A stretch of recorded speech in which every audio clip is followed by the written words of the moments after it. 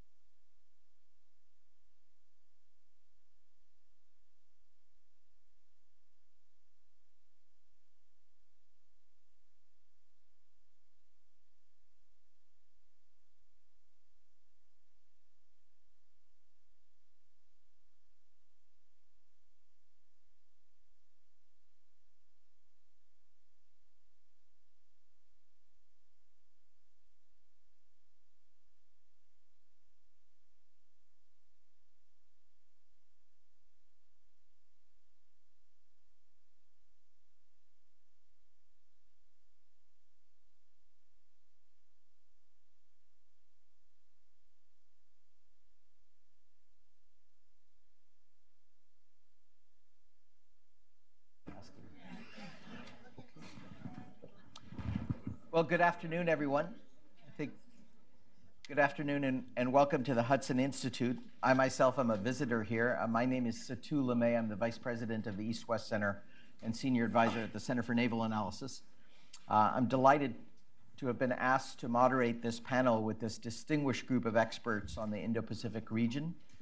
Um, Nagao san has been a real mover and shaker in his energy and enthusiasm while here at the Hudson Institute in putting together first class programs looking at uh, the region and particularly China's role in it. And today's program, Countering China in the Indo Pacific, is very much in keeping with his. Uh, the thrust of his work here at the Hudson Institute. So Nagao-san, congratulations on, on bringing this to fruition.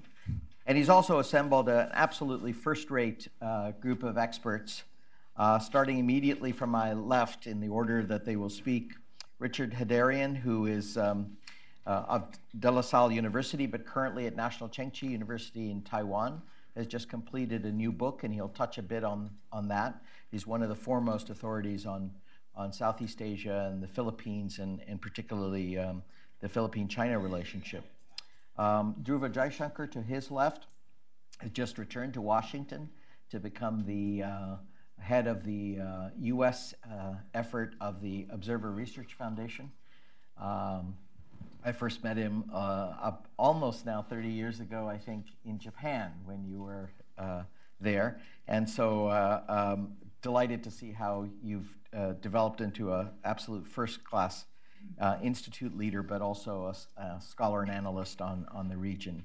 And I've met today uh, Liselotte Odgaard, who's a senior fellow here at the Hudson Institute. And what's terrific about having Professor Odgaard here is uh, her work, as I was doing the background work, is really picks up the US, China, and Europe thread.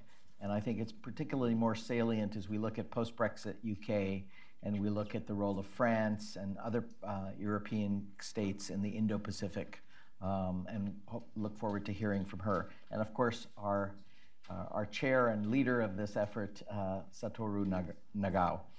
So, uh, format is very simple. We'll, uh, three of our presenters have a uh, PowerPoint presentation. They'll make their case, and then we'll go one rep through the other, and then we'll open it up for a Q&A. And each of them will speak for an allotted amount of time. I'll try to catch their attention, to keep them um, on schedule so that we can give maximum time to you to ask questions and make comments from the floor. With that, again, thank you for joining us. And Richard, may I invite you, please? Yes. And he's very high tech, so he has a he has a phone keeping uh, track of his time. Trying to behave myself. Thank you very much. Good morning. Uh, it's a pleasure. I hope uh, I'm my usual energetic uh, version. I'm still halfway into a five or six country speaking tour right now. Um, it's a pleasure to be here in uh, Hudson Institute. It's one of the places I love because uh, I feel I don't need to be very politically correct when it comes to discussions uh, of, of China. Uh, my experience in speaking uh, across the region is that I have to be always much more careful about my language. Like uh, sometimes you use assertiveness rather than aggression, among others. Here, I feel I can be a little bit more free flowing and a little bit more myself, right? Um, and you can imagine why I'm not a very popular among some friends in Southeast Asia. I'm also very indebted to uh, Hudson Institute and, of course, Satoru-san because uh, I just finished a book on Indo-Pacific. I think it's the first book on Indo-Pacific. It's around 400 pages based on 10 years of writing and experience across the Indo-Pacific. Uh, my dad comes from the Caspian region. Uh, my mom comes from Southeast Asia with some Iberian background. So more or less ethnically, I cover much of Indo-Pacific. Uh, and I've written books and written a lot about across the region. So I, I tried to bring them together under the ambit of US-China competition, particularly uh, under the Trump administration and how we're going to move forward. So we gave a presentation last year on Indo-Pacific and Southeast Asia's place in that, and that presentation we had here in Hudson really helped me uh, to put the final touches to the book. So today I'm going to talk about what I call China's premature bid for hegemony. Again, the more politically correct term was China's inchoate hegemony. I've written for a number of think tanks on this issue, but uh, I think premature hegemony pretty much uh, puts it where I need it to uh, be put. Now, I think the question also right now is how do we preserve peace and stability in the Indo-Pacific? And this is not about confronting China per se or excluding China, but how to make sure that we manage the rise of China in ways that is mutually acceptable and mutually beneficial. Now, so this is the book. Uh, sorry, it was too fresh, so I couldn't bring copies. Maybe early next year I can come back for a proper uh, uh, uh, book tour on that. Now, when it comes to understanding what's happening in the Pacific, particularly in, in, in the Asia Pacific, um, I think there are two figures that help me a lot to frame the question and possible answer. Uh, one is, of course, the late Singaporean leader, Lee Kuan Yew. He was not right on everything, but I think he got China very much right. And he was the bridge between the West and the East uh, especially when it comes to engagement with China. And the other one is, of course, one of my favorite philosophers, uh, Walter Benjamin. Um, these are the two quotes that I think are very important for us uh, to keep in mind. You know, one of the observations that Lee Kuan Yew made, which made a huge uh, impression on me, was that the rise of China, especially for us in Southeast Asia, in the peripheries of China, is so dramatic that it's not going to only require tactical balance of power adjustment. It's going to change the system itself because of the sheer size and influence and ambition of China.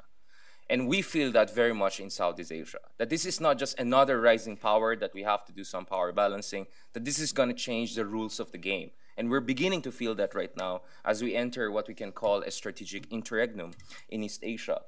On the other hand, Walter Benjamin also talked about how behind every fascism, there's a failed revolution. Now, I'm not saying that China is a fascist, um, but what I'm trying to say here is that I think the confrontation and the tensions that we see today in uh, East Asia is also very much a product of our inability to create a Kantian perpetual peace through strong institutions that will preserve uh, pacifist and dialogue-based interaction. And this is where, coming from Southeast Asia, I'm also slightly critical of ASEAN, and I feel in the ASEAN we could do a much better job in ensuring that we negotiate great power relationship with much more proactiveness and willing and the willingness to take a little bit more risk, which we're not doing.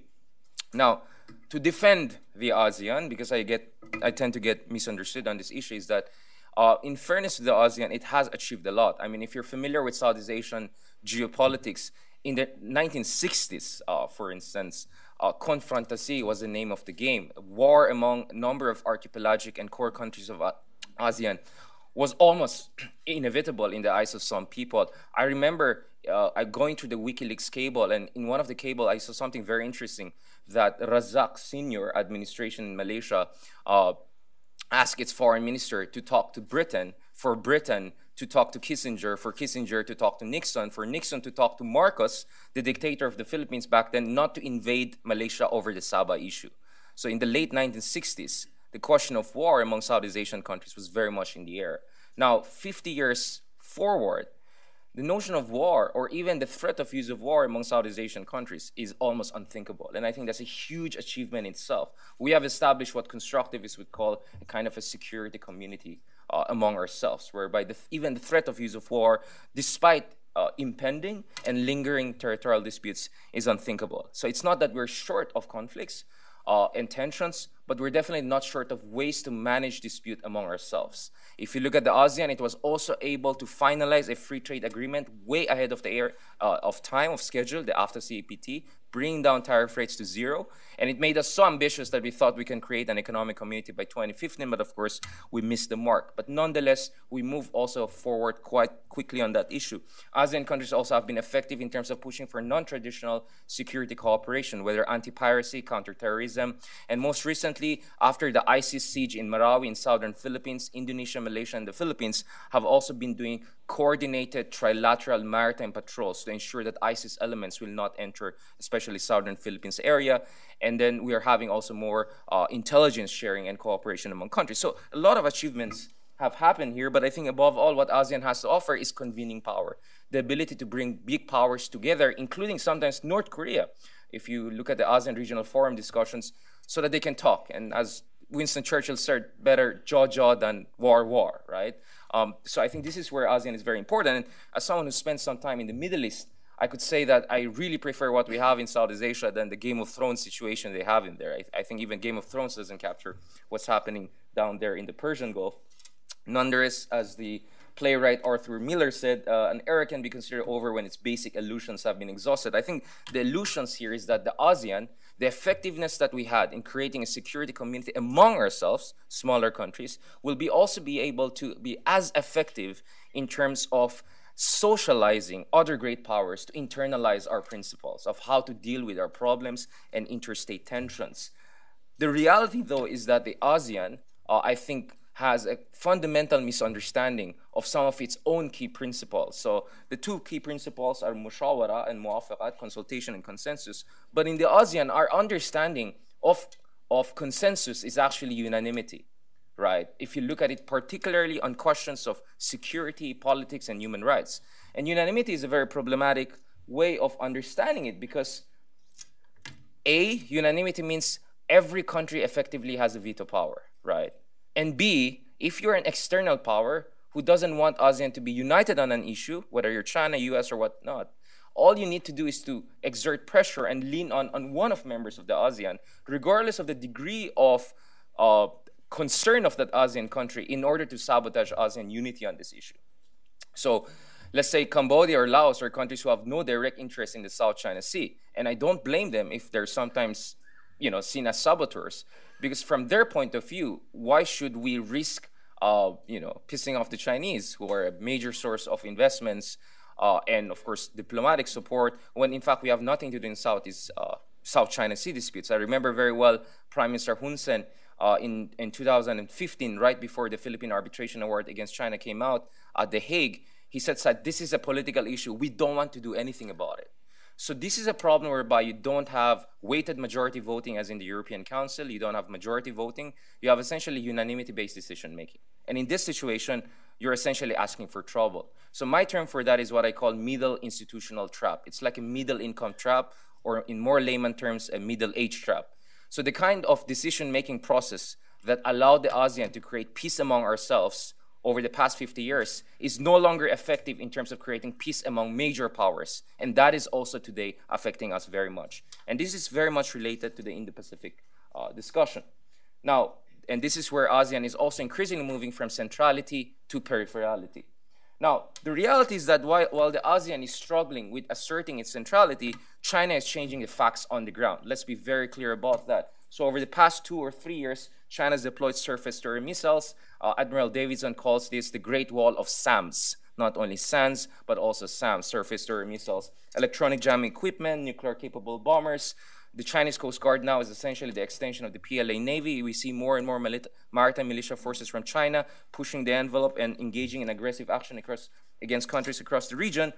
So the level of diplomatic dynamism of ASEAN is not catching up with the facts on the ground. And one of my frustration is while we're talking about the code of conduct with China, China is changing facts on the ground on a daily basis. So while we're wasting our time in negotiations, which by the way, we're not even sure it's going to be legally binding. We're not even going to be sure if it's going to be legally binding, whose law, whose interpretation of international law. Facts on the uh, ground are changing. Nonetheless, my message here is one of cautious optimism. My message is that there are at least three reasons to be skeptical about this whole conventional wisdom that Asia is gone, China's already won it. I come from the Philippines. One of our icons is Manny Pacman. And if I'm going to use boxing as a kind of metaphor, I think we're just in round four. And I think this is going to go all the way to round 12, if not more. Why?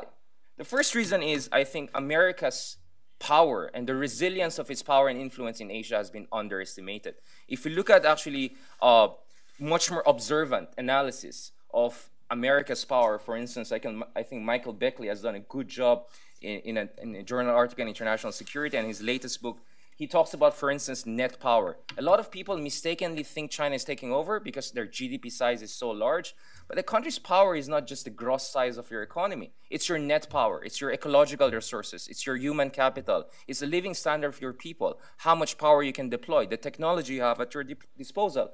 And the reality is that if you look at the data over the past 20 years, you're not seeing actually much convergence between China and the United States. And by the way, US has to grow only 3 or 4% to match China's 7, 8, 9, 10% growth because the base of American economy is much larger. If you look at biotechnology, if you look at cutting edge technology, US is still way ahead. Now, there was a very interesting observation by people, including Fareed Zakaria, that you know everyone is panicking about China creating 1 million, 1 million scientists per year. But the question is the quality of scientists. A lot of these people have just vocational training.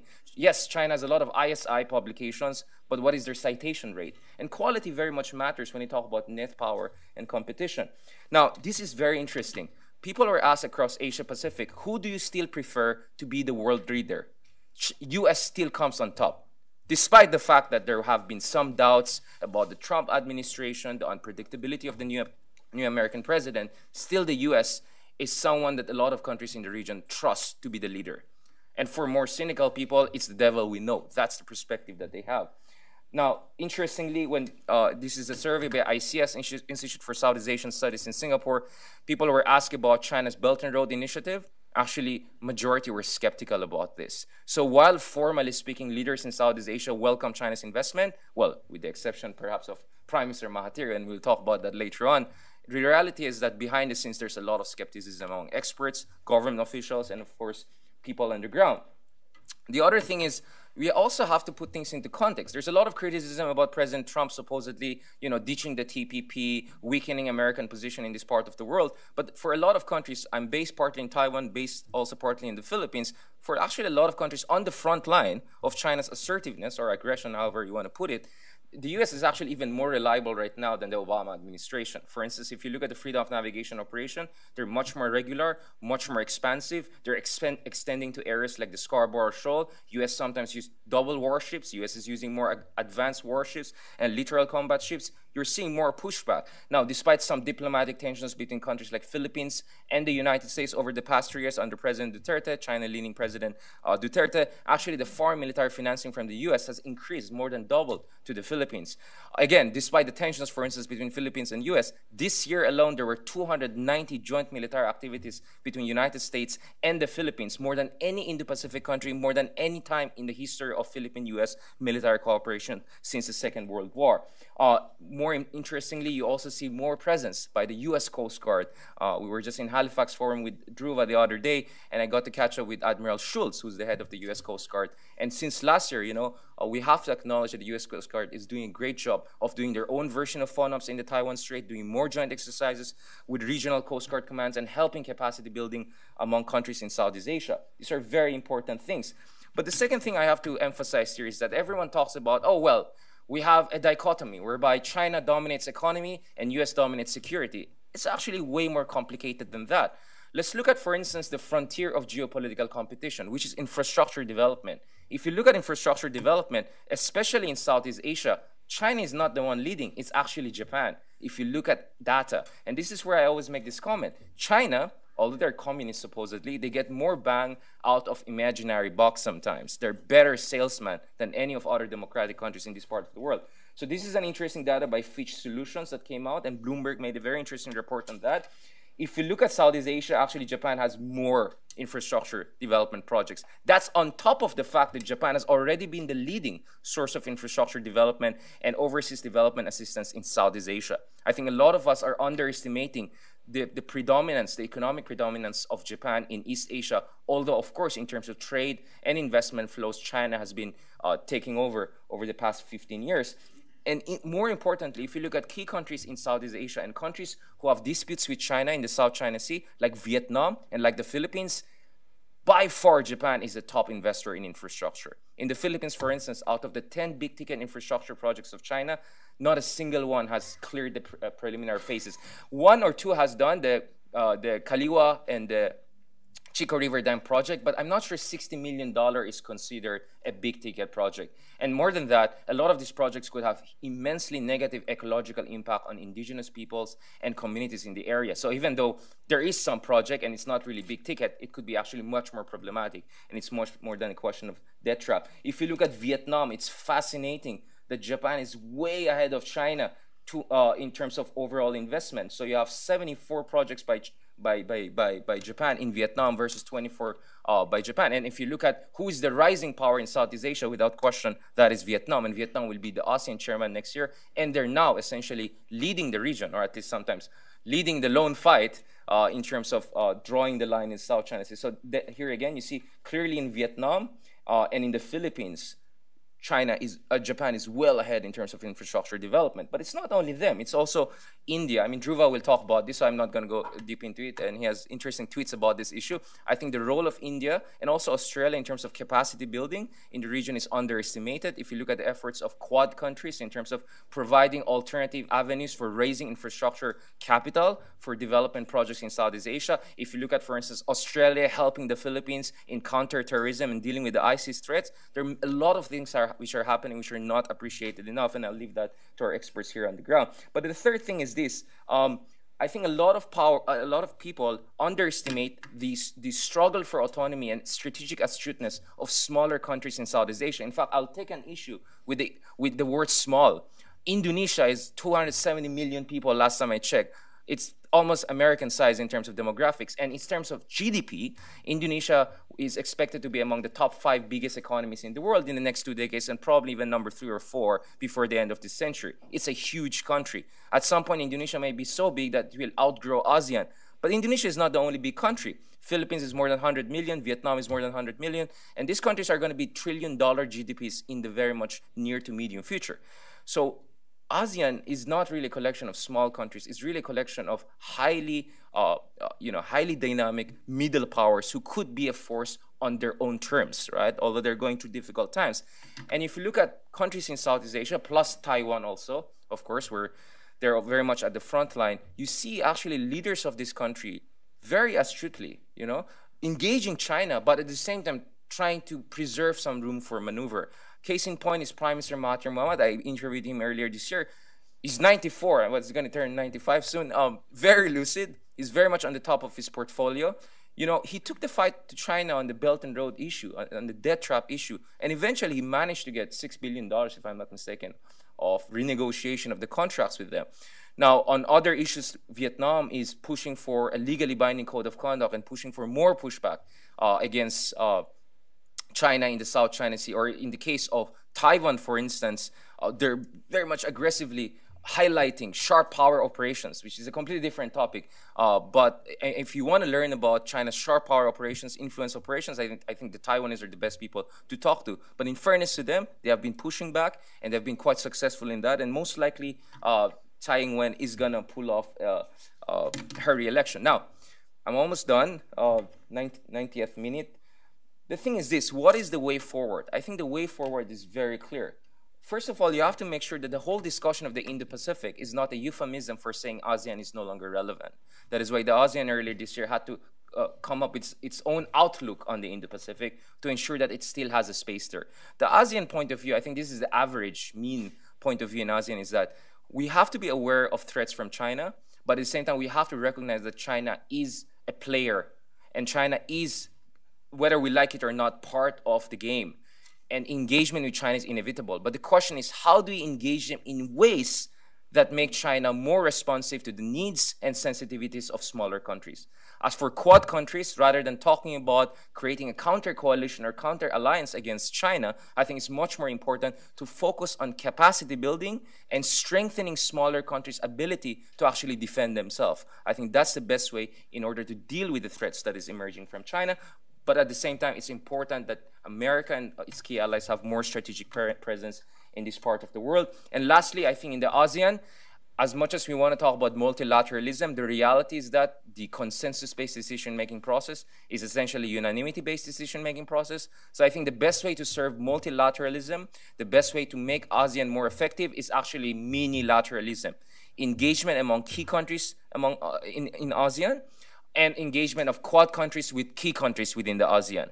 Uh, and we're talking about Indonesia, we're talking about Philippines, we're talking about Vietnam, Malaysia, and these countries. If the Quad countries can have effective and institutionalized cooperation with these countries on issues whereby we have concerns with China, I think that's more than enough. You don't need to get all 10 ASEAN countries on board. And I think through minilateralism, you can eventually make ASEAN much more relevant. It's a very controversial issue, but I'll leave it there to the question and answer. So I'm one minute over time. Thank you very much.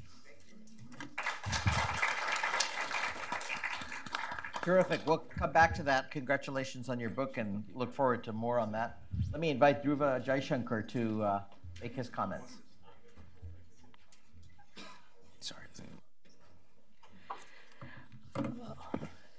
Uh, thank you. Uh, thank you, Satu. Thank you to the Hudson Institute. It's a pleasure being here. Uh, and thank you to Dr. Nagao for inviting me to speak on this. Um, over the last three years, I spent a lot of time crisscrossing what we now call the Indo Pacific region, uh, from Tokyo to Taipei, from Kuala Lumpur to Colombo, from Honolulu to Hanoi, and from Perth to Port Blair. And in most of those places, I ran into Richard somewhere along the way. um, but the, one of the things that struck me in all of these places, these capitals, these regional centers, naval bases, was that I heard very similar concerns about the rise of China. Um, of course, every country had its own priorities, its own um, its own interests. But broadly speaking, I think we could categorize them, or we could we could uh, compartmentalize them into four broad areas of shared concern. The first that had to do with the lack of transparency of decision making. Uh, China is no longer an inward-looking country. It now has global interests. It is playing a very active economic and diplomatic and security role in many different parts of the world. But for the first time in a century, we're seeing a, a truly global power, perhaps with the exception of the Soviet Union, uh, a truly global power that has a very closed system of governance. And so even when decisions are made uh, in Beijing, uh, they're viewed with a great deal of suspicion. A second broad area of concern had to do with the lack of economic reciprocity. There was a view that China was not a market economy. Uh, it is a mercantilist uh, uh, in, in, some ways uh, ascribes to mercantilist policies. Um, and whether it was a lack of market access, whether it was concerns about debt, whether it was issues related to contracts, this was another theme that was common in many different places. A third theme had to do with territorial revisionism. So whether it was in the East China Sea over the Senkaku uh, Islands, uh, or in the South China Sea, uh, or indeed in the Himalayas uh, between uh, China and India or China and Bhutan. Uh, we, you, in all of these places, you see China using nominally civilian tools to advance, um, to advance in some ways, its territorial ambitions. Um, and finally, we saw, we, see quite consistently, although not in all areas, a certain disrespect for international norms, whether in terms of freedom of navigation and overflight, whether in terms of cybersecurity and inter internet governance, or indeed whether uh, in terms of the Arctic and Antarctic treaty systems, uh, which have been a, a, point of growing concern. Uh, India, where I'm from, has certain specific concerns related to China's rise. And I should say that in many ways, uh, what we are seeing um, uh, has been advantageous, uh, not just to Chinese citizens in the sense of um, being a driver of global economic growth, lifting millions of, uh, tens of millions of people out of poverty, uh, and indeed, uh, all of us in some ways have directly or indirectly benefited from China's rise over the last few years. But nevertheless, a country like India has certain specific concerns. One, there is a large boundary dispute between the two countries.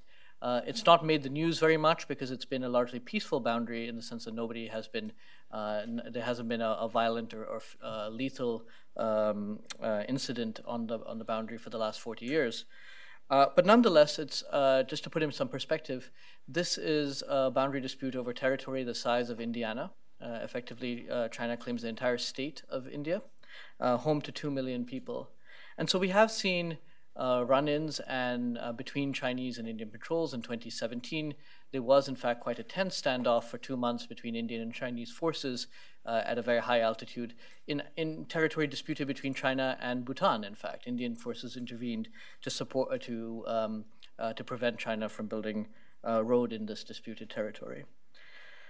Um, a second area of major difference between India and China has to do with the massive trade deficit between the two. Um, uh, it currently stands about $50 billion. It's dropped from over $60 billion last year. Um, but uh, this, to put in perspective, this is about the size of India's entire defense budget. So effectively, India is paying China every year the equivalent of its entire defense budget. Um, there are many reasons for this trade deficit. Lack of Indian competitiveness, competitiveness has to do with uh, some of it.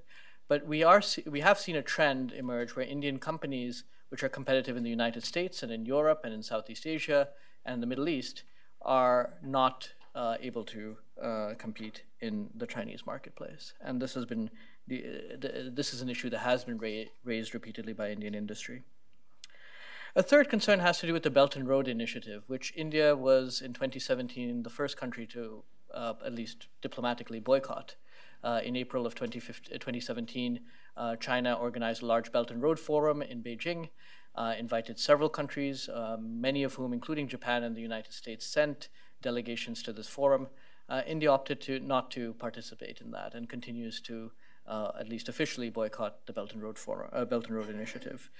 Uh, in fact, India spelled out a series of concerns, uh, which was not to do with Chinese investment or Chinese infrastructure per se, but rather that such investment in infrastructure was not sustainable, uh, was not transparent in terms of its contracting, did not respect local skills and labor or environmental concerns, and did not always respect sovereignty. And these were concerns that India articulated in April of 2017, and we've seen similar language, similar concerns now echoed by many other countries subsequently. Um, uh, we see this also manifested, I mean, the concerns in some ways have played themselves out uh, in countries like Sri Lanka, uh, there are rising concerns about the sustainability of the China Pakistan economic corridor, uh, and of course, in um, uh, concerns about port facilities that China is investing in uh, across the Indian Ocean littoral and beyond. Finally, India has concerns uh, related to global governance. 10 years ago, China, India, Russia, Brazil, and others were working together to try and reform international institutions as part of what they saw as necess- necessary reforms after the global financial crisis of 2008. But in recent years, we've seen uh, under Xi Jinping, China abandon this rhetoric of rising powers rising together, and in turn is now projecting China as a peer competitor of the United States. Um, so we're seeing now, for example, China block Indian entry into international institutions, whether the Nuclear Suppliers Group uh, or the UN Security Council, and also not be particularly helpful at other forums in which the two countries are both members. So, all in all, what I'm, I'm trying to, uh, if there's one takeaway, it's that we're seeing a structurally more competitive relationship between India and China emerging. Um, and this uh, is unlikely to change, barring some very radical transformations on the part of China, which often actually have very little to do with, with India. So, what is India doing about it? And I'll just run through a few quick slides if you don't mind. Um, I don't know if. Uh, I'm sorry. I think I can get by without the slides. I don't have a clicker here. Um, I think the first thing. Richard hijacked Um, uh, a few a few things I think that um, I think are uh, India is doing, which are, are, of import, which I'll just briefly uh, outline. One is in the last two years, since the end of 2017 or so, we've seen a major stepping up in the Indian Ocean, uh, led by the Indian Navy, but also uh, linked in some ways to, you can see trends in Indian overseas assistance, both lines of credit and grant aid. And uh, this includes, amongst other things, uh, India establishing um, a fusion center, an information fusion center in, in, in India to monitor traffic in the Indian Ocean region, uh, entering into a number of cooperative agreements with other countries across the Indian Ocean littoral and the United States, Japan, and others. Um, in late 2017, the Indian Navy changed its operational um, tempo. Uh, it now conducts year round operations in seven zones across the Indian Ocean, including major choke points such as the Gulf of Aden, uh, the Straits of Malacca, uh, and uh, in and around the Straits of Madagascar. You've seen increasing interoperability. India now conducts major maritime exercises with most of the significant uh, navies across the, the Indian Ocean. Uh, these are growing in sophistication. And just to give you a few examples, India and the United States just conducted their first tri-service exercises, which was an amphibious landing for uh, humanitarian assistance and disaster relief. Uh, you've seen the first uh, tabletop exercises involving the Quad countries, that's the United States, Japan, India, um, and uh, Australia. Uh, India also took part a little farther afield in a week long joint sail uh, along with the United States, Japan, and the Philippines in the South China Sea. And so this is in some ways breaking new ground, at least as far as Indian sec- India's security posture is going. And finally, we're seeing certain capacity building efforts. And so these are just some of the areas in which India is um, uh, investing either in civilian, uh, mostly civilian, and in some cases military infrastructure. A second broad objective is integration with Southeast Asia. Um, and India is, in some ways, diplomatically engaged in the form of the ASEAN led institutions, including the East Asia Summit, which, which just took place. Uh, but uh, you're also seeing efforts at building roads and connectivity. So, an India, Myanmar, Thailand trilateral friendship highway will be completed in the next year or two, which will connect India to the Thai border and from then on connect to a road that will go east to Da Nang in Vietnam. Uh, you're seeing a number of security arrangements also come up. So India and Indonesia just held their first major naval exercises. India and Vietnam uh, do not only exercises, but India also trains submarine sailors and uh, combat air pilots from Vietnam. India and Singapore have a maritime agreement. Uh, the Singaporean artillery and air force do exercises on Indian soil. So this you're seeing in some ways a, grow, a growth of Indian security partnerships also emerging here. Um, Additionally, India is also developing deeper partnerships with other powers that share its concerns about China's rise, and this includes the United States, Japan, and Australia, the so called Quad countries, but also others such as France and even Russia. Um, and again, just to give a few other examples uh, of this, uh, we had uh, the first Malabar, these are tri- uh, trilateral exercises involving the United States, Japan, and India that are held every year. For the first time, they were held under Japan's leadership in the East China Sea just a couple of months ago. Um, uh, so that's just an example in some ways of the, this growing um, uh, cooperation. India and Australia just held their first anti-submarine warfare exercises in April. You had um, the first India-Japan uh, Air Force exercises and Army exercises in 2018 as well. Uh, finally, like all countries in the region, there's an element of managing relations with China, uh, managing these differences. And so you are seeing attempts at trying to shape a constructive engagement. To date, uh, the efforts have still been quite modest, uh, but this does remain a critical element. And as such, uh, Prime Minister Modi of India and President Xi Jinping have held a couple of informal summits over a couple of days. This last one uh, in India just a, a, short while ago, but also in 2018 in China. So, in conclusion, I, you know, what I would say is uh, these efforts that I've spelled out, driven by these new security and strategic imperatives on India's part, align rather well with the United States' free and open Indo-Pacific strategy as it's emerging under the Trump administration. Um, in fact, I would say uh, the relationship between the United States and India is one of the few that has arguably improved uh, under from the Clinton administration to the Bush administration, from the Obama administration, and on to the Obama administration, and now to the Trump administration. We've seen, in some ways, while there have been bumps on the road, it's been a largely positive trajectory. And in, in some areas, particularly in in terms of security in the in the Indo-Pacific, it has arguably accelerated under the Trump administration. Um, in that sense, uh, I, I don't think there's a lot of unhappiness in New Delhi about the Trump administration calling out unfair trade practices on the part of China uh, in terms of the U.S. stepping up its security presence in the region, including in the South China Sea, uh, in terms of coordinating, improved coordination with partners, uh, including Japan, Australia, India, and several countries in Southeast Asia. And, and Richard spoke very eloquently about that. Um, and just in terms of public opinion, a survey taken in 2017 after the election of President Trump uh, of for, this is by the Pew Research uh, Center found that India was in fact the least anti-American country of the 40 plus countries surveyed. Uh, only 9% of Indians had an unfavorable view of the United States. So there's, there does seem to be continued uh, public support in some ways for a deepening US-India partnership in this context. I'll leave finally on so three issues that I see as slightly complicating, because uh, I think it's in, in all fairness we should uh, highlight these. One is there are some growing pains of a US-India partnership, emerging US-India partnership that is not a treaty alliance of the kind that the United States, and particularly the security establishment of the United States, has grown accustomed to. Um, and that has led to having to create a number of India specific carve outs, whether they're legislative carve outs, but it's also led to a certain other sets of difficulties. And these are being addressed slowly. For example, in, uh, two agreements have been signed recently one, a logistics, a mutual logistics support agreement, uh, which has been operationalized between the US and India, and also a, a secure communications agreement, which was only just signed uh, within the last year. And these are uh, sort of uh, emblematic of the, the kinds of uh, developments taking place. But uh, the fact that it does not fit into a, a, sort of a NATO-style alliance or a traditional hub-and-spoke alliance system uh, that the U.S. has enjoyed uh, sometimes complicates the relationship a little bit. Secondly, there have been some differences in the bilateral relationship. So while, while the strategic relationship seems to be growing quite healthily, there are some differences that have, I, I, wouldn't say they've imperiled the strategic partnership, but they've certainly complicated it, and uh, particularly over trade issues. So sometimes, even though India and the United States have similar concerns about China, uh, China's unfair trade practices, that hasn't necess- automatically led to a greater convergence between the United States and India. And finally, I think there's some differences over uh, approaching partners, and most notably over Russia.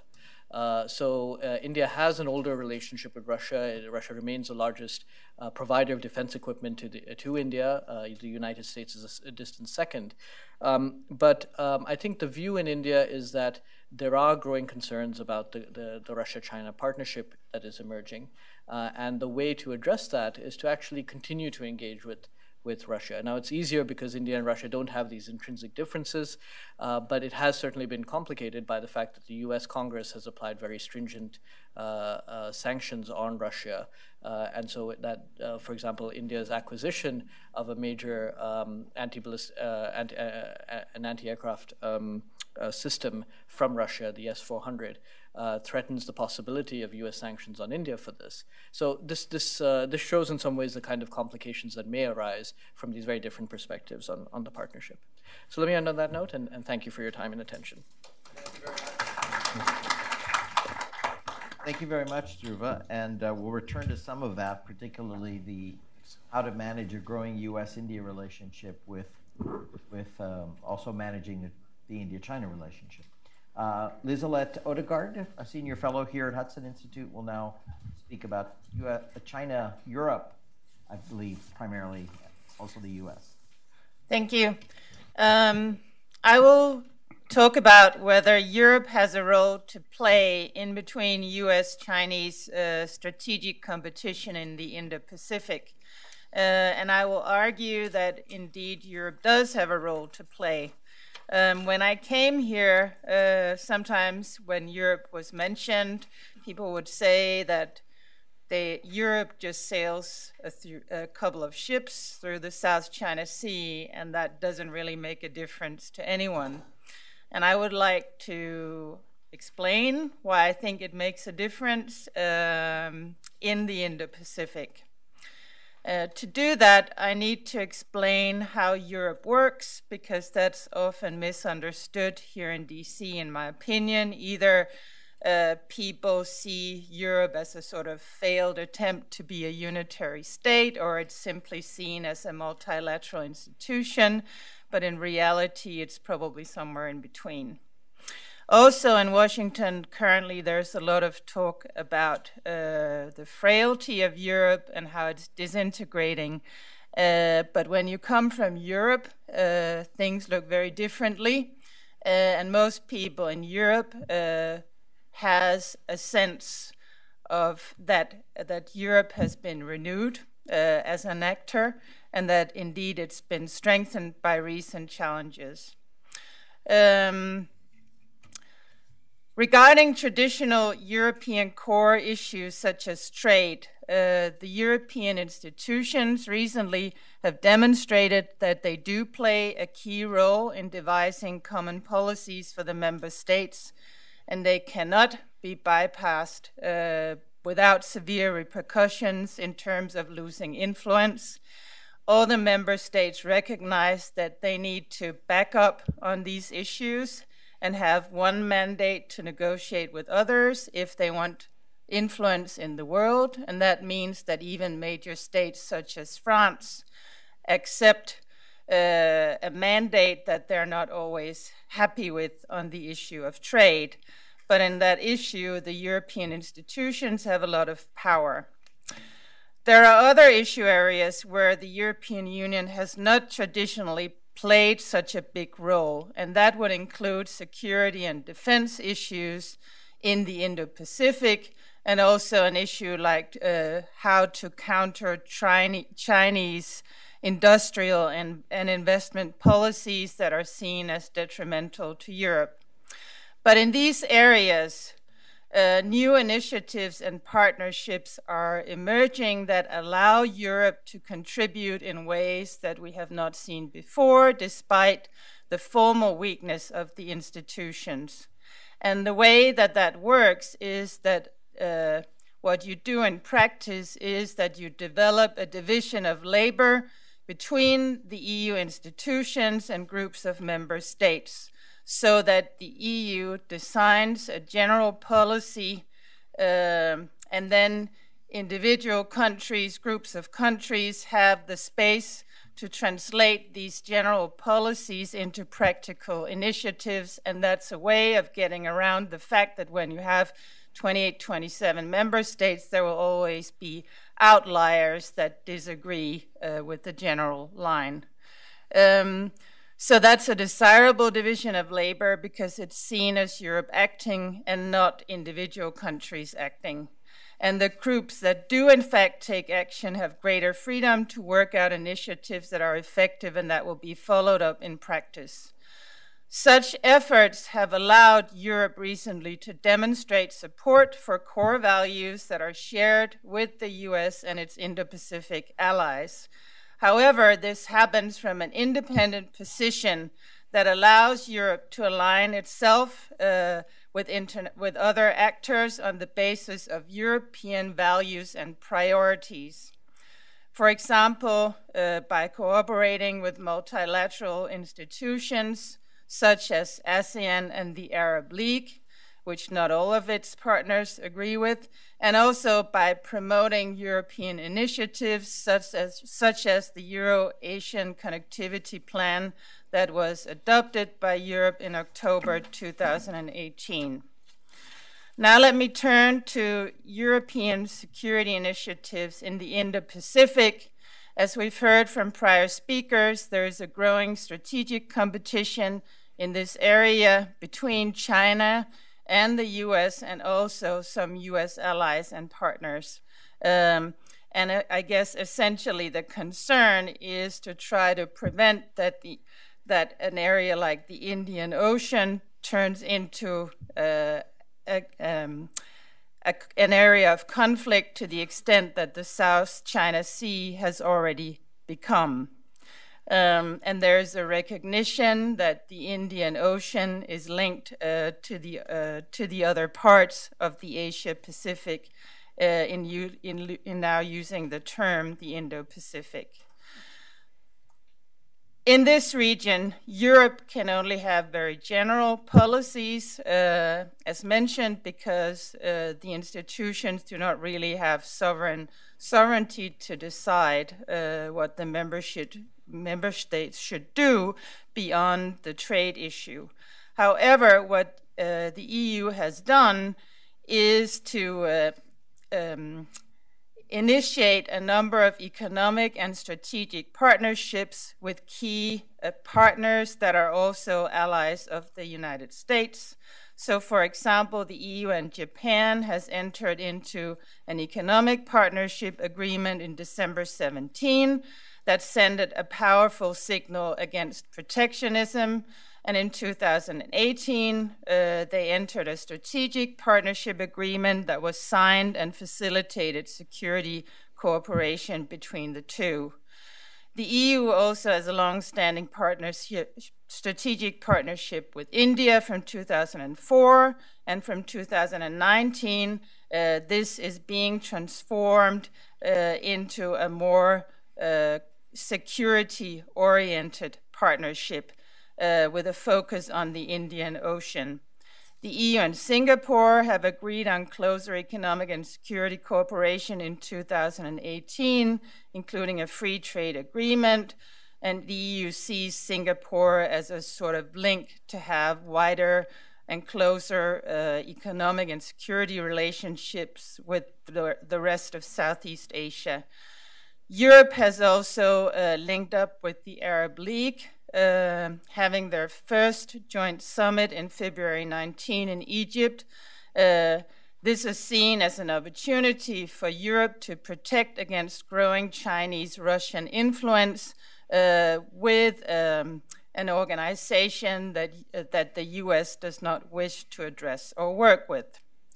Um, so, the EU seeks closer relations with Asian states that are considered compatible with European liberal economic and political values and that are also critical and concerned about uh, China's growing assertiveness in the region. In terms of security and defense in practice, um, since 2016, there has been a French led effort to conduct naval diplomacy in the Indo Pacific to, to complement the general policies of the European institutions. And since then, an increasing number of European countries have conducted maritime operations and naval diplomacy in the Indo Pacific. Of course, such an effort takes a long time to build up. There's all sorts of challenges uh, to do this. Um, there's you know, working with new partners. For example, Denmark sent a frigate as part of a French carrier group for the first time this year. It has never performed in that function, so it takes time uh, to integrate these forces. The French carrier has not been east of India since 2002 until this year. And so the environmental conditions, uh, the winds, etc., is not known, uh, and they have to get acquainted with that and what it means for their operations. I was deployed uh, for a month uh, with the carrier group, so I learned in person that it means a lot. So there's those kinds of details that means that these things take time to build up. But in view of that, I would say that they have come quite far in in making uh, an effort uh, to complement uh, the um, the deployments of other allies in the region. The carrier group this year uh, sailed from the Mediterranean via the Suez Canal across the Indian Ocean and via the Malacca Strait uh, to Singapore. A rotating cast of allied ships uh, was part of the carrier group. There was Portugal, uh, Danish contributions, the UK, Italy, Australia, and the US also participated. And so transatlantic unity concerning the French initiative was demonstrated. During the deployment, the group participated in maritime exercises with the uh, Indian, Australian, Japanese navies, and also with the Egyptian Navy on the way back when the US had, let, had, had left the carrier group. Um, this uh, tour, as mentioned, en- ended in Singapore, another important partner of Europe. Uh, it's an authoritarian state, but it is embedded in the US alliance system. It's an economically highly developed country and a country with links to both China and the US. Uh, and this is the kind uh, of policy line that Europe also adopts not seeing uh, China as a wholesale enemy, but as somewhere in between a competitor and a partner. So,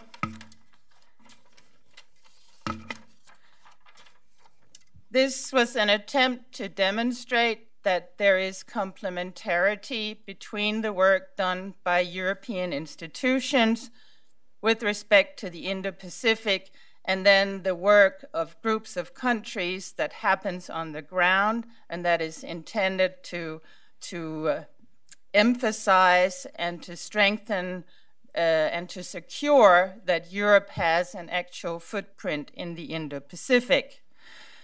Um, you could say, does this matter? But I think it's important not to see the European contribution in isolation, but see it as part of the, the efforts of India, Japan, Australia, and the US to share bases, to work together as indicated by all the joint exercises. That means that if you put all these efforts together, it's actually quite a, a formidable or, or impressive attempt to build a sort of quasi alliance relationship with allies and partners across the Indo Pacific uh, in an effort to sort of push back against Chinese uh, policies that are unpopular. In Europe's case, as is the case with India, as we could see from their, uh, the explanation of India's partnerships, it does happen from an independent position. So Europe is becoming more and more aware what is in Europe's interest, and it will sort of make these efforts uh, under that heading that Europe may see certain things differently from its allies and partners. So, for example, in the South China Sea sail throughs that are part of this tour, uh, Europe will not sail within 12 nautical miles of Chinese occupied features uh, because, in, in Europe's view, that is entering into a legal gray zone and Europe doesn't wish to do that uh, because they feel that that could give problems when arguing that Europe is for the rule of law and a rules based order. That is different from U- US policies, but essentially, Europe also conducts uh, freedom of navigation operations that is supportive of the, uh, the efforts uh, of the US and other countries. So while there are differences, I would say they're minor compared to the similarities uh, in terms of objectives of these efforts. So, this kind of division of labor uh, that allows Europe to, uh, to have a footprint in the Indo Pacific, I think we will see more and more of in areas where the institutions do not have uh, much formal sovereignty. For example, the EU Commission's 10 action points of robust defense policies against unfair Chinese trade and industrial policies. There you see the same kind of pattern where the European institutions provide member states with backing to adopt uh, cross border cooperation and industrial policies to deal with China's undermining of intellectual property rights, data security, etc. Um, in making these efforts, it is important, I would argue, to coordinate initiatives between allies and partners to avoid, avoid that we work at cross purposes. For example, US participation in European naval diplomacy is a good thing. Uh, allied coordination of infrastructure projects in Asia is also important. But provided that this takes place, and I believe it does, uh, then I think this is, is quite a strong effort uh, to demonstrate chi- to China uh, that there are common values and interests across a wide range of Indo Pacific uh, resident powers and also external powers that are willing uh, to make an effort to push back against what is seen as an increasingly problematic uh, Chinese behavior in the Indo Pacific. Thank you. Thank you very much. Our final speaker is Nagao-san Satoru.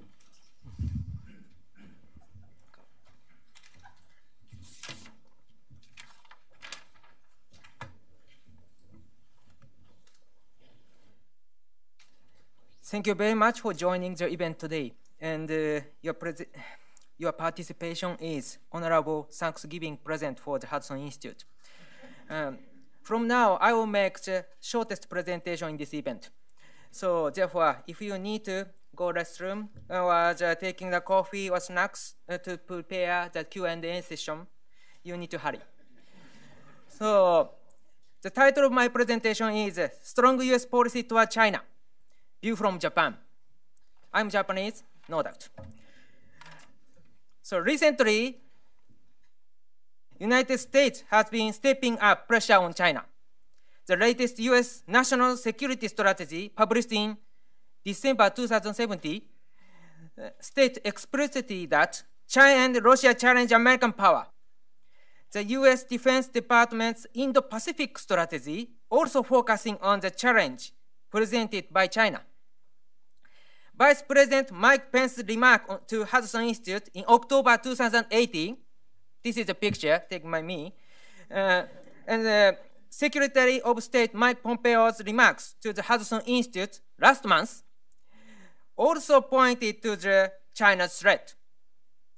In January 2018, the US imposed a tariff on China, and in, in response, China imposed their own tariff on the United States which in turn led the US to impose more tariff on China.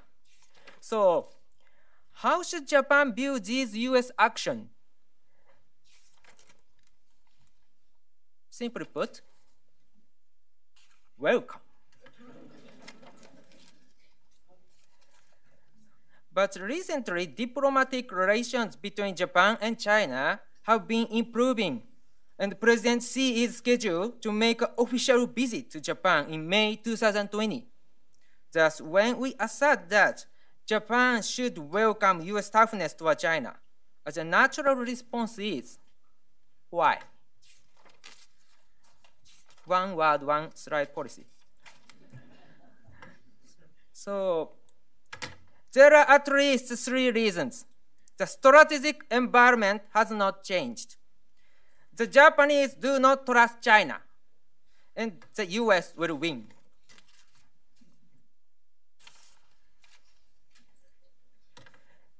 So firstly, the strategic environment has not changed. Even through the Japan-China relations has been improving since 2017. The China's military activities have not changed. For example, consider the activities of China's fighter jet after the diplomatic relations began to improve, the number of scrambles against Chinese military aircraft decreased. However, in 2018, number of the scrambles increased again to the 638 times in 365 days. So still, Japan has too many Chinese guests to deal with. So, the last month, China made an ominous move when it invited Japanese scholar to conference and then arrest him as a spy. This is strategic environment.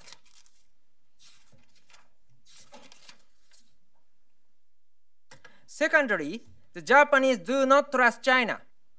According to the survey by the Genron NPO since 2012, more than 80% of Japanese have held unfavorable view of China. You can see the red line.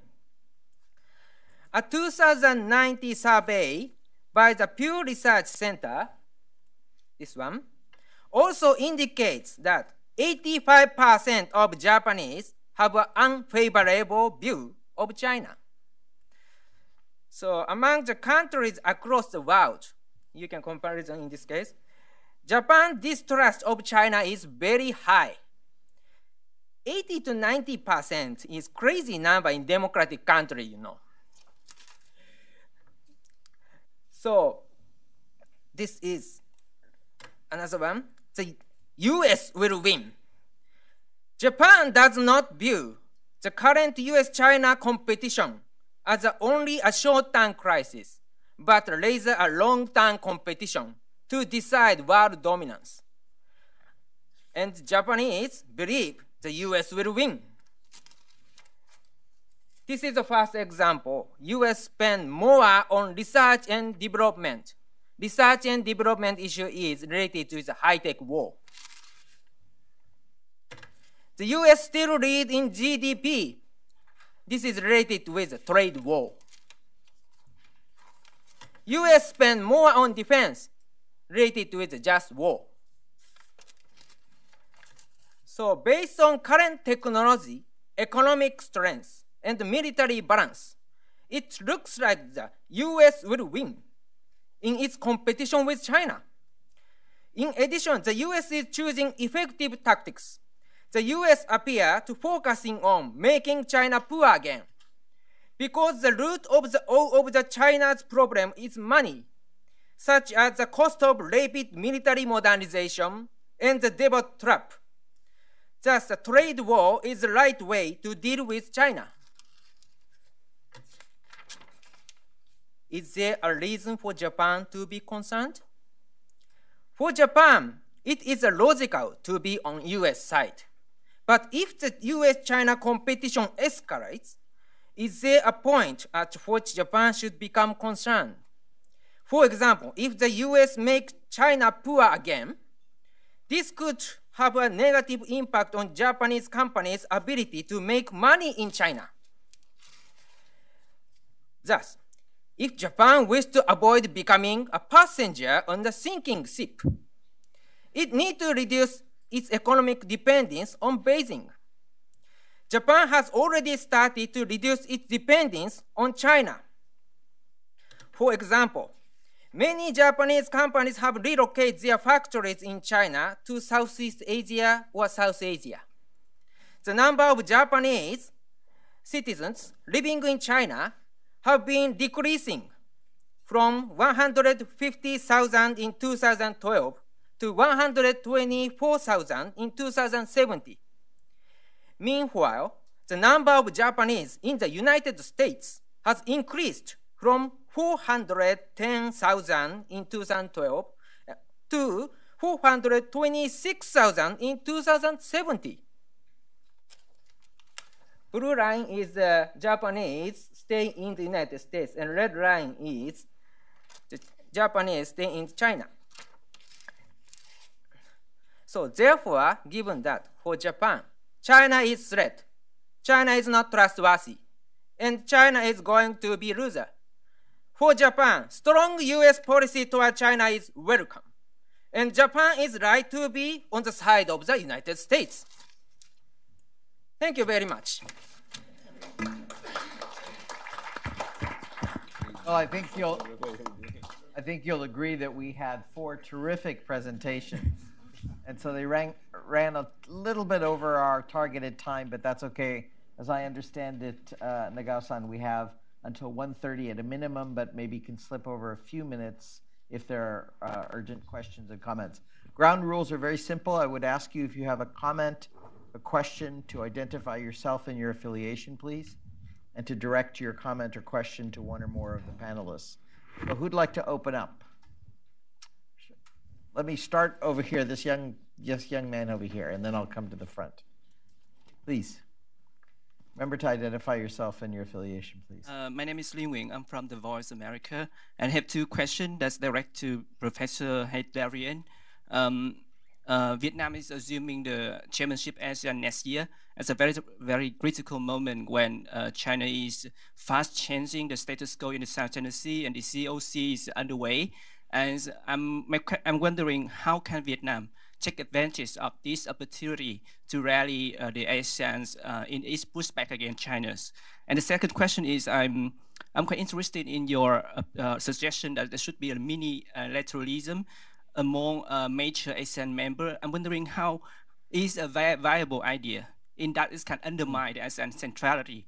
And is there any like alternative to the consensus-based mechanism, like apportion, uh, apportioning the voting right based on the weight of each individual country? Thank, thank, thank you. you. very much. Richard, that's a, the second question was the same as mine. Is which coalitions do you foresee as having the most opportunity in Southeast Asia? Because the history of coalitional security activities in Southeast Asia is mixed at best. So yeah. maybe you could address. I should respond right now. Please, yes. Think my jet lag is finally setting in. I'm not 20s anymore. Um, well, first of all, on the question of Vietnam, it's very interesting. Again, at a very critical juncture. If you remember in 2010, when Vietnam last time was the ASEAN chairman, we saw two famous things, right? One, Yang Jiechi saying, we are big and you're small towards our Singaporean friends and the rest of the region. And Secretary uh, Hillary uh, uh, Clinton, yes, saying also that freedom of navigation in the South China Sea is a U.S. national interest. And then the, the Chinese came back with the core interest debate. So 10 years ago, we saw that critical juncture. And there's a dramatic qualitative difference between China's behavior in the South China Sea in the first decade of the uh, 21st century and then after the uh, Vietnam. And we saw the Scarborough crisis, Philippine arbitration award. So once again, Vietnam is in that critical position. I'm very interested. I wrote something for CSIS on this issue. Am I allowed to talk about other think tanks? Um, about the option of legal warfare for Vietnam. Uh, I'll be very brutally honest. Uh, in 2013, 14, 15, 16, we were constantly invited to Vietnam uh, as Filipinos to give ideas about our arbitration award, give you certain advice. We felt we were not, you did not, I mean, we felt there was an implicit message that we might do some parallel deal, right? And I talked to a lot of senior officials in the previous administration. They would say that the Vietnamese made us feel that they might do something. And I could notice how the Vietnamese were taking notes when we went to the nitty-gritties of potential compulsory arbitration. Well, what I'm trying to say here is this. There's a lot of Philippine bashing right now with President Duterte taking a very China-leaning position. But where was the ASEAN when the Philippines was taking that position? This kind of answers your second question also because by taking the unilateral decision of taking China to international court, the Philippines has handed the whole region, right, a huge leverage and benefit. For instance, Vietnam is right now using the Philippines' unilateral decision to take China to arbitration award to gain access for its fishermen in the Scarborough Shoal. And more importantly, your threat of legal warfare is now much more credible because the Philippines has shown that compulsory arbitration under Article 287, Annex 7 of UNCLOS actually can work it is doable. You can take China to the court even if they don't want it. But of course, not on issues of sovereignty title claims, but on issue of maritime entitlement zones. And that's very important because when you talk about Vanguard Bank, when you talk about Chinese activities within your exclusive economic zone, you can credibly use compulsory arbitration to prove that China has no business to do there.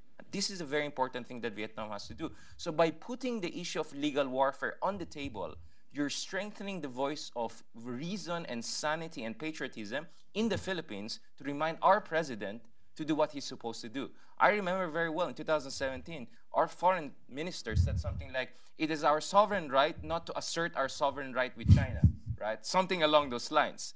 It's very important that we remind the Philippines that the arbitration award is still final and binding. It's an important issue, international community has to respect that, and China is technically an outlaw.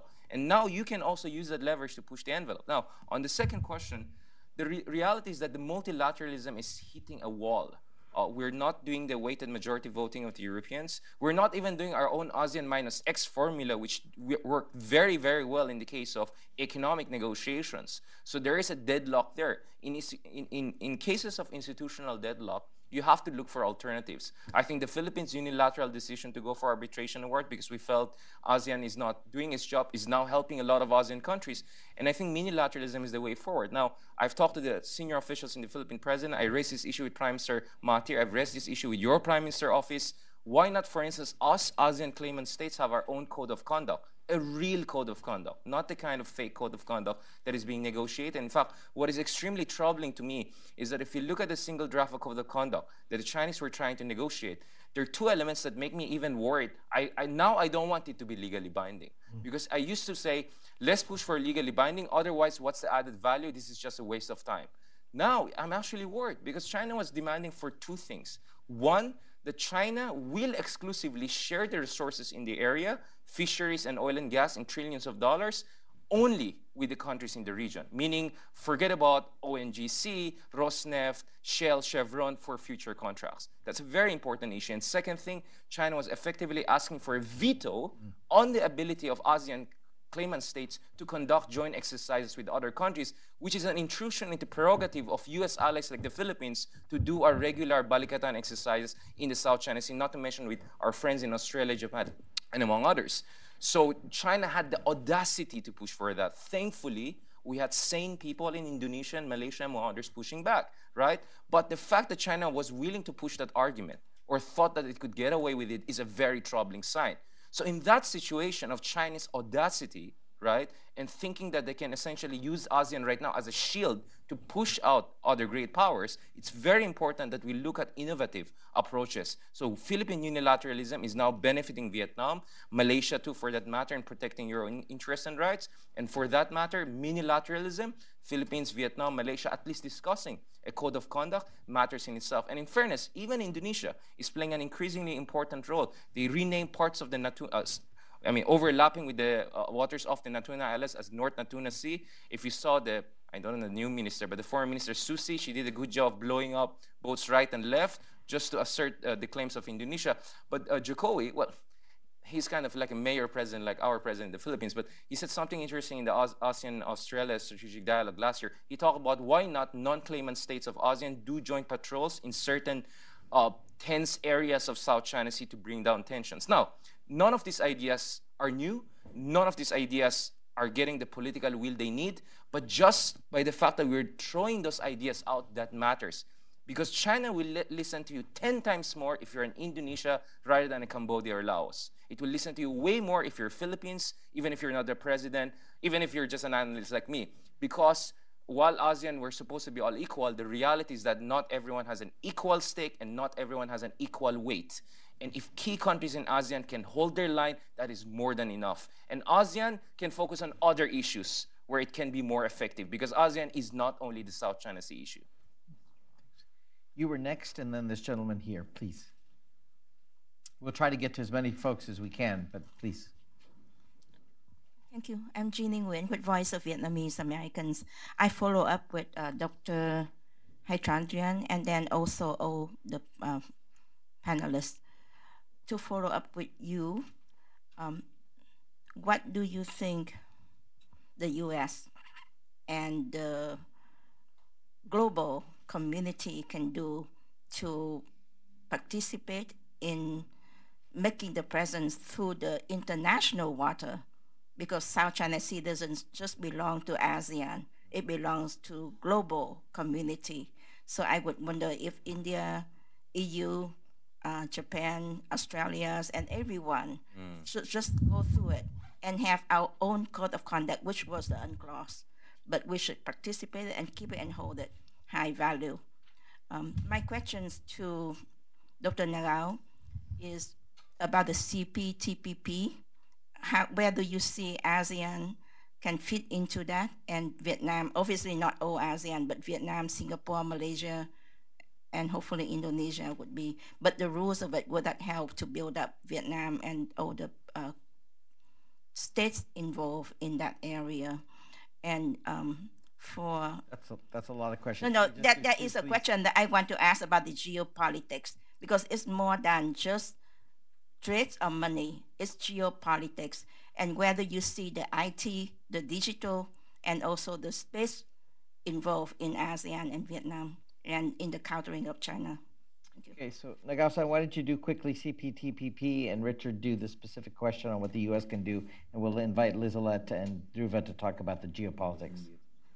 The simple answer it was uh, TPP issue is uh, it is welcome because on surface we say it, we can include China, but uh, this TPP is real intention is exclude China. So uh, because China's market is very big and we need our own big market to deal with China. This means that TPP is effective way. So if possible, Japan want to include the United States. Uh, because United States is the most important part of this economy. Uh, this is shortest answer. Thank you very much. Thank you, Nagao-san. Well, Richard, on the what can the U.S. do? Maybe we can do another uh, talk in January, or February, yeah. because that's a very comprehensive question. But I'll keep it very uh, short. Maybe a couple of things the U.S. can do as we go up to the Vietnam yeah. chairmanship year. Well, first of all, we're seeing our Vietnamese friends very proactive here. That encourages me. Um, well, the thing is, I think for a long time the U.S. had this what I call impossible trinity position. I kind of get the concept from economics, which is on one hand you have treaty alliances with the Philippines, let's say, uh, and obligations that come with it. On the other hand, you want to engage China and be friendly with them. And on the other hand, the U.S. is claiming neutrality on the status of disputed land features in the area. That is a very difficult triangle to square, right? Now we're seeing some movement. Now we can debate whether this is right or wrong, but I think uh, we're seeing very encouraging signs from the United States. Like, as a Filipino, for instance, I'm encouraged that, first of all, Secretary Mike Pompeo, for the first time at a very high level, came on the record in his press conference in the Philippines in, in, in March of this year, March 1 of this year, when he said that the Philippine US Mutual Defense Treaty covers, he specified South China Sea and any attack on your vessels, personnel, and aircraft in the area. That level of clarification was non existent in the past. During the Clinton and uh, Carter administration, we saw some senior officials making those statements, but they always mentioned Pacific. We were not, I mean, you can always debate about does that cover South China. So Secretary Mike Pompeo did a very good thing. Second thing was in June, after the Reed Bank incident, whereby a suspected Chinese militia force sunk a Filipino vessel. Almost 22 folks were killed. Uh, let's not talk about where my president was on that issue, but um, the, uh, Sung Kim, the ambassador of U.S., uh, he made it very clear that the Mutual Defense Treaty could also now apply to gray zone attacks by China. Again, that's a dramatic way forward that we did not see in the previous administration. And we're very glad that we're seeing this. Now, it's very important because December last year, Philippine Defense Secretary openly said that maybe the Mutual Defense Treaty is not useful anymore. Now the conversation is very different. I got the Defense Secretary on the record saying that maybe now we're going to talk about revising the guidelines of the Mutual Defense Treaty. This is a completely different positioning we're seeing right now. And I think the reassurance coming from the Trump administration is important. Now, going back to the issue of 12 nautical miles, now it's very important that you move through the 12 nautical miles and not call it right of innocent passage. Because the moment you call it right of innocent passage, you're already recognizing that China has a land feature there. You just pass there through their face and say that is a fake island. It doesn't count for everything, anything. You're in the high seas. Now, our European friends want to play it safe or not. Now, so now we can talk about stratified, multi-layered freedom of navigation operations.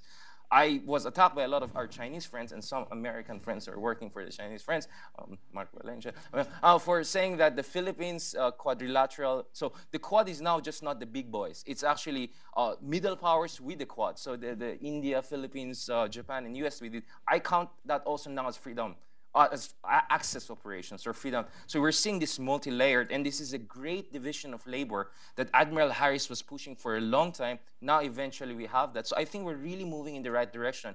And you, you see, the Chinese strategy is this. They go across the region and keep on saying, this is about US and China, this is great power rival, it has nothing to do with international law. So when you have one, two, three, four, even a single or two countries from Europe coming out and saying, no, no, no, no, this is not US China competition.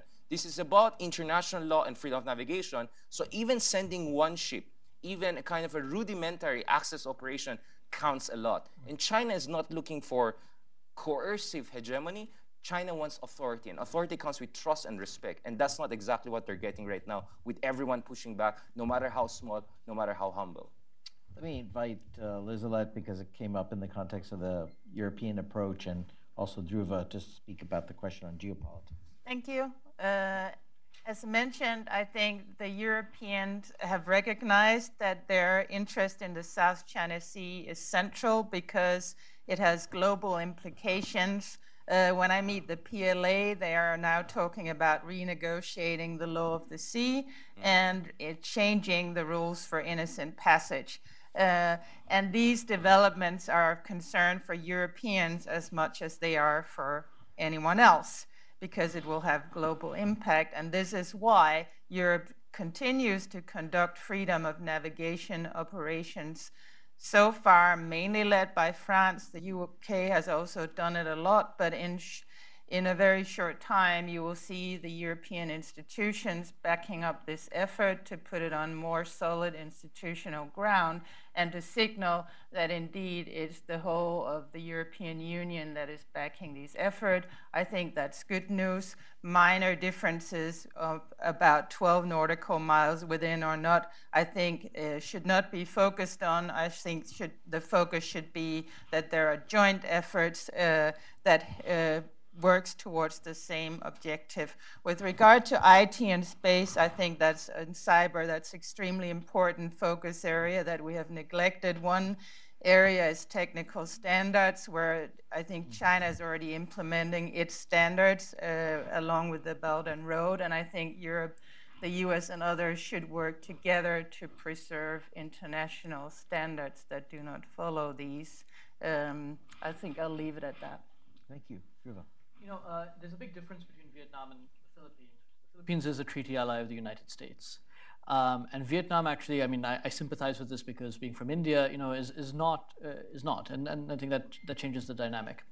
In 2016, when the, the Permanent Court of Arbitration ruling was made, there was, it was interesting to observe the different reactions of different countries. And I, I, know there was a big debate about in several capitals as to how you should respond to it. And I think it was somewhat discouraging to see that uh, Australia, Japan, and to some degree the United States actually took, made firmer statements in, in support of that than Vietnam and some of the claimant states. Uh, I mean, the Philippines was in, undergoing its own transition, so I think it was a, slightly different in, in, in, that context. But uh, it made it very hard for countries like India to say, how can we be more Catholic than the Pope in some ways on this issue? So, uh, you know, I, I, don't think anyone should be under illusions that uh, others will fight their battles for them. Uh, it'll have to be, you know, each country will have to have to take its own. But that being said, there's a lot that all all of these countries can do to support each other. Short of that, um, and I would say three things in particular. One is sharing information amongst each other, whether it's strategic assessments at the political level or day-to-day intelligence sharing uh, on on pertinent issues. The second is uh, improving interoperability. So just increasing habits of cooperation amongst the militaries to work together, whether it's in the form of exercises or, or, or, other ways. And the third is actually capacity building. So, you know, we know that both the Vietnam and the Philippines have a shortage of uh, capable vessels to, to under, undertake some of the operations that they would like to do. And so you see, for example, India is providing some countries in the region, including Vietnam, uh, soon with, with offshore patrol vessels. Um, and the U.S., Japan, in fact, is also uh, is also providing Vietnam and the Philippines uh, with uh, under, under the guise of law enforcement, providing them with smaller patrol vessels. So I think th- these are the things that can be done in, in the short term. But I don't think anyone should be under the illusion that another country, given everyone's own domestic preoccupations, uh, will be coming to their support in the uh, during a time of crisis. Well, thanks, sir. We have three minutes, and I saw at least seven hands. So I'm going to take them in the best as I can in the order I saw them. Forgive me if I didn't see them perfectly. This gentleman here, the gentleman in the lavender shirt, and this gentleman up here. So let's try those three all at once, please, just quickly. I'm uh, Peter Humphrey, intel analyst and a former diplomat. Um, FONOPs, which are already hard enough to get volunteers to come along, are an incredibly weak response to the conquest of an area twice the size of Australia. So let's say we actually get a little backbone decide to ramp this up a bit. Uh, one excellent move would be for the overnight appearance of a joint Philippine American brigade showing up on Scarborough Shoal. And that one ship, Chinese ship, looks to the beach and sees 5,000 personnel there that weren't there last night. Uh, that's where you get a red line, where you get some backbone. What is the possibility of a post Duterte Philippine government signing off on an operation to stop the conquest of the South China Sea? Yeah, uh, well, Richard, park that for a moment, including just how far Philippines is willing to go on implementing EDCA beyond the five sites that we're currently working yeah, with your government on, and much less uh, deconflicting the claims amongst the three major claimants. Yes, sir. Uh, David Little with the media. Um, my question is how are the respective nations viewing Hong Kong and the Uyghurs, and um, how does that affect that national uh, country's opinion of China? Great. Thanks very much. That will apply to all folks. And, sir, you were the last question. For now, unless we can run over. Yes, please. Thank you. Um, Nathan Guerra, Georgetown student. Um, you mentioned multilateralism. How would that signal? What would that signal to other ASEAN members, um, considering that ASEAN consensus um, would mean that they're left out? And do you think that that would actually weaken ASEAN centrality, or not? Okay, so you've got two specific questions, I think, addressed to you, perhaps and then a general question about how China's behavior on the Uyghurs and on Hong Kong uh, is being refracted in the respective countries, regions, in Liselotte's case. Richard, do you want to very quickly, please, because yeah. I want to give time. Yeah, I know. Um, I, will try to speak fast to cheat again. Well, I, I, think I responded a while ago already on this. I think there's no mutual exclusivity between unilateral and multilaterals, and I think we have to really go back to the foundations, or at least this is my position. Uh, and honestly, I think a lot of people in the ASEAN would believe that we're already in a mission creep situation.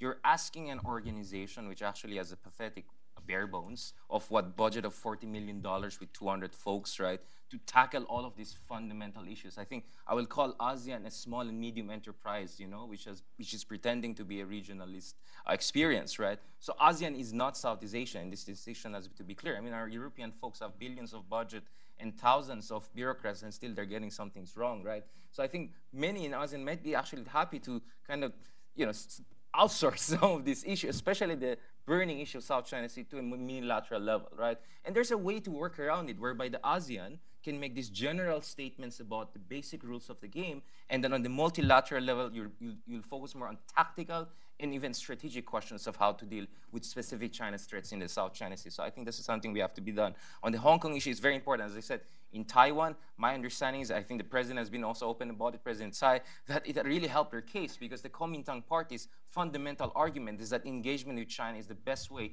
to secure the status quo for Taiwan, which is like a gray zone between independence and non-recognition by much of the world, right? Um, but what happened in Hong Kong is make it very easy for, for for the ruling party to say that, you know, if Hong Kong is such a failure, God, what will happen to us if we go under the so-called two systems? Because clearly this is more, more one China than two systems, right? And this is really helping the situation in Taiwan. In the Philippines, unfortunately, half xenophobically people say, look at it, even the Chinese don't like the Chinese, right? And then our president is trying to be more Chinese than the Chinese, right? So it really helps. And more worrying in places like Indonesia, we were talking about this a while ago. The last election was really an identity politics issue.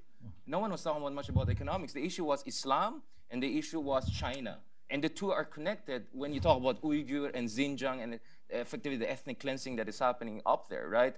And I think uh, if you talk to folks from Malaysia, and, and, and, and, and Indonesia, one of the things they always emphasize is China doesn't understand Islamic sensibilities. I mean, they're completely tone deaf with their own Muslims, but they have to learn how to deal with that when it comes. But of course, the same thing applies to the United States, but that's a different question altogether. And then lastly, on the issue of uh, of Scarborough Shoal, well, I think President Duterte himself made it clear that it's a red line if the Chinese reclaim the Scarborough Shoal. So even for someone like Duterte, right, even for someone like Duterte, that is the floor. And the Defense Secretary of Philippines made it very clear this is too close to us, it's unacceptable, right? So for the Philippines, that's a red line. Now the question is, how do you go beyond that?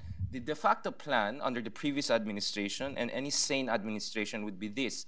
In an event that China wants to move in concrete materials, the Philippine Coast Guard can block them. If they shoot at our Coast Guard, then we can activate the Mutual Defense Treaty. I think the idea of doing this kind of a uh, special ops, etc., is a little bit too fancy for a lot of policymakers. But there are some operational uh, plans that they, were, were, being seriously discussed, and I think Duterte essentially put that aside.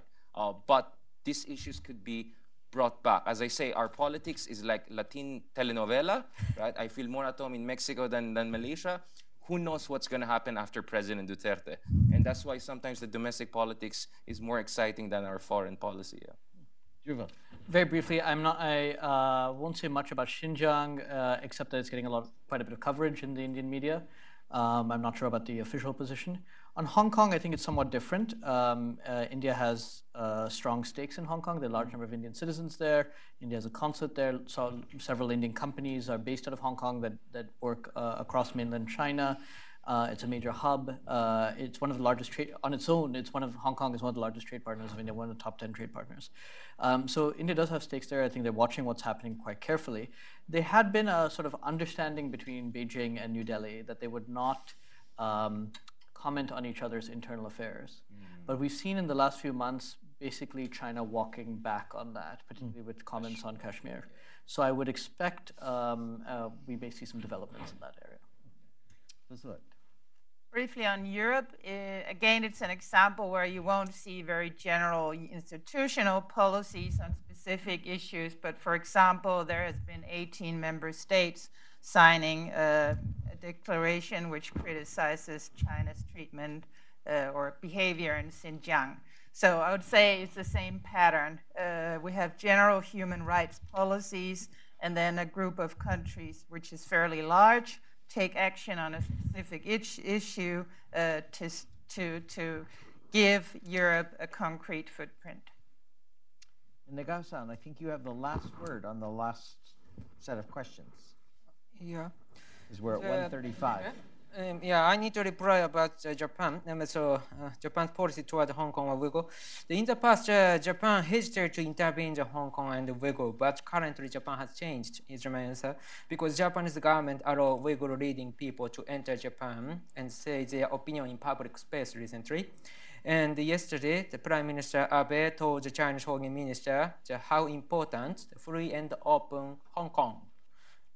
So the Japan is the frenemy, friendly face enemy for China, I think.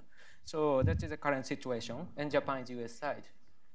I think. well, thank you, thank you very much, Nagao-san. Um, Thank you. You know, as always with this group, uh, we could go on and on because their expertise and their knowledge of the region is so profound and detailed. Um, and I'm sorry that we had to compress it towards the end, but thank you for spending the afternoon here for this program at the Hudson Institute. It's been my uh, honor and pleasure to um, moderate it and chair it at the request of Nagao-san. And um, to all of the panelists, thank you. Please join me in thanking and happy Thanksgiving to everyone. Thank you so much.